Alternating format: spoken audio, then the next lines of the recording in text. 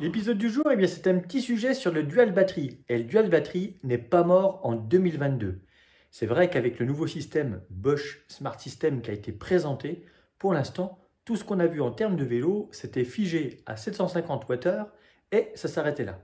Bon, certes, on a quand même une grande batterie en termes de longueur, puisqu'elle a pris 7 cm par rapport à une PowerTube 625, soit 14 cm de plus par rapport à une PowerTube 500 donc on est loin des batteries larges et dodues mais courtes, comme sur ce vélo derrière, puisqu'on est sur des formats plutôt très très allongés.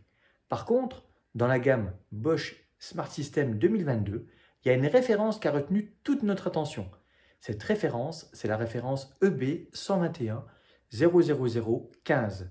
Et pour moins de 15 euros, eh bien, cet adaptateur vous offre une option pour brancher une deuxième batterie Smart System à environ un peu plus de 1000 euros, les 750 Wh, mais au final 1500 Wh embarqués. Et ça, c'est pas rien. On peut se poser la question sur quel type de vélo on aura la chance de découvrir ce type de concept. À mon avis, dans les produits existants qui risquent d'évoluer, des cargos comme on a pu en essayer chez Reismüller avec un double batterie euh, fixée dans le cadre, euh, dans carrément l'ossature de base, ou encore le tandem Flyer avec les deux batteries logées entre les deux pédaliers.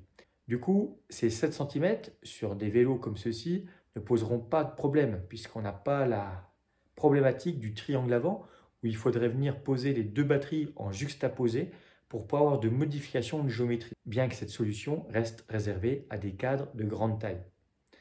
Après, euh, sur un tandem comme le Flyer, ou n'importe quel cargo où il y a vraiment de la place pour aller glisser deux batteries, ça pose aucun souci.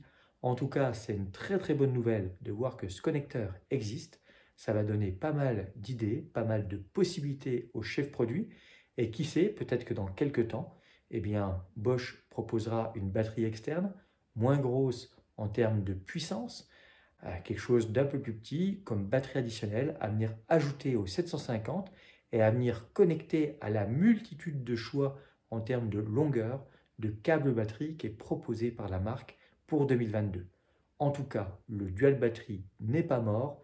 Il y a beaucoup de possibilités pour des vélos futurs, sans oublier toutes les possibilités pour les vélos existants, euh, puisque bah, tout ce qui est Genius, Strike et même Spark, on a des solutions pour les passer en dual batterie ou encore des cargos comme le Yuba Mondo, où on a développé ce prototype et on est tout à fait à même de reproduire le système pour d'autres utilisateurs.